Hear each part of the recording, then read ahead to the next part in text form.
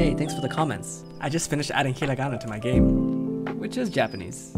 Kinda. Let me explain. So Japanese has not just one, not just two, but three writing systems. These characters that look like they're about to fight you, these are kanji. And these characters that look like they just want to hang out, these are katakana. But two writing systems still wasn't good enough, so they made katakana cute. These are hiragana. The three all have important differences. Kanji is just a bunch of symbols that you have to memorize. They don't tell you how to pronounce them, just that they want to fight. Katakana and hiragana, on the other hand, are phonetic, so they spell words and how you see it is how you say it. Like Korean or Spanish. But not English. Like, guess how this is pronounced? Well, you're wrong. It's pronounced "foxel." Anyways, so katakana is used for foreigner words like and hiragana is used for pure Japanese words like